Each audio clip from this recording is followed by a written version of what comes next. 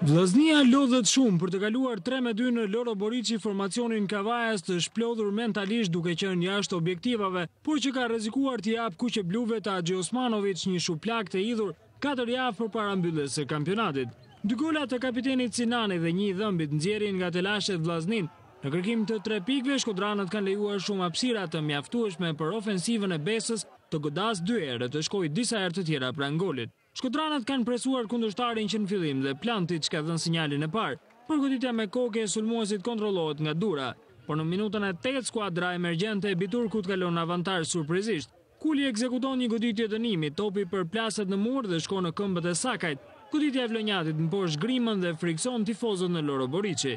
Reagimi i Vllaznisë në fakt është violent. Belisha shkon pranë golit në minutën e shtatëmbëdhjetë, por goditja e mesfushorit stampohet në traversë me Durën të mundur. Nuk ka gol, ndërsa Haxhiosmanoviç shqetësohet edhe pse skuadra e tij lëviz mirë në fushë. Presioni i vendasve është i madh dhe Sinani ka mundësinë për të barazuar. Krosimi nga majta e Shtupinës është i saktë për kapitenin, por Dura këtë herë reagon bukur duke evituar golin. E megjithatë mbrojtja e kavajase do të thyhet në minutën e njëzet e gjashtë. Një goditje dënimi e Sinanit dhe pasiguria e portierit vendosin ekuilibrin në fushë. Por as koha për t'u gëzuar sepse Besa godet sërish duke ngrirë buzëqeshjen në fytyrën e Haxhiosmanoviç. Neglizhenca e Belishës që humbet topin favorizon Fortunat. dhe haitiani ndëshkon Grimën për herë të dytë në minutën e tridhjetë e një. Sfida është spektakulare dhe Besa luan hapur duke kërkuar edhe një tjetër gol.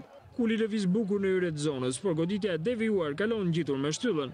Në fund të pjesës së parë vjen edhe momenti i vetëm i kontestuar i ndeshjes. Krosimi i Shtupinës këtë herë është për Dhëmbin, korçari godet me kokë, topi përplaset sërish në traversë, por Dhëmbi proteston duke kërkuar golin pasi sipas tij topi ka kaluar vijën e portës. Nuk është i këtij mendimi asistenti, kështu që shkodranët zbresin në dhomat e zhveshjes me disavantazhin e një goli. Provon gjithçka për gjithçka tekniku malazez me tre zëvendësime përpara rifillimit të lojës, ndërsa dhe Biturku ka në mend dy lëvizje. Situata është e njëjtë me Vllazninë në kërkim të paktën të barazimit, ndërkohë që Besa përdor tani kundërsulmin. E barazimi do të vonojë vetëm tre minuta, pasi në të dyzet e tetën është sërish Sinani që shënon për Vllazninë. Goditja me kokë e sulmuesit mposht Durën dhe çon në delir tifozët. Biturku largon nga loja edhe Kulin, ndërsa tashmë janë shkodranët padronë të fushës. Goditja me kokë e Plantiç kalon ngjitur me shtyllën në të pesëdhjetë e shtatën, por rezistenca e verdhezinjve do të marrë fund në minutën e gjashtëdhjetë. Sërish një krosim nga krahët, por vetëm me ndryshimin se këtë herë është Dhëmbi i pamarkuar që me kokë shënon golin e tretë. Tre pikët tashmë janë arritur, megjithatë drithërimat vijojnë dhe Besa e ka patur mundësitë për të bërë keq.